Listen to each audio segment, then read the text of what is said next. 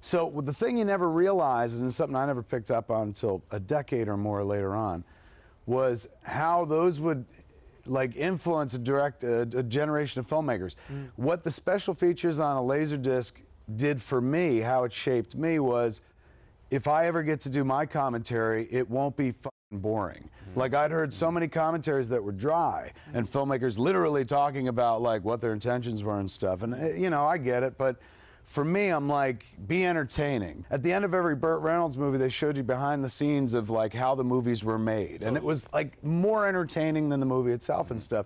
So I like that notion. I was like, all right, some some more of that, more of that.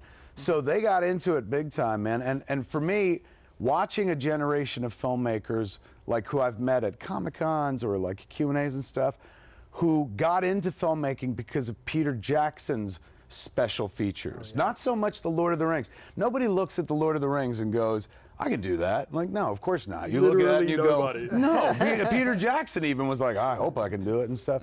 But you can look at the special features and be like, oh, is that how they did that? And reverse engineer shit.